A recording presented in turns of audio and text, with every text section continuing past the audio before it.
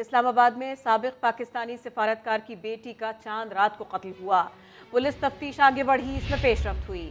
तफ्तीशी team के सरबरा SSP investigation Ataur Rahman ने बताया कि किसी ने महल्ले से फ़ोन किया था और ऐसे पुलिस को इत्तला दी थी। गिरफ़्तार मुलजिम ज़ाहिर जाफ़र मकदूला का दोस्त था। मकदूला नूर मुकदम दो दिन से घर से बाहर थी।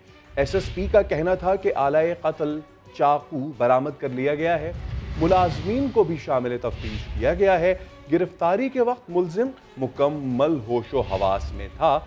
वजह कत्ल अब तक सामने ना आ सकी है।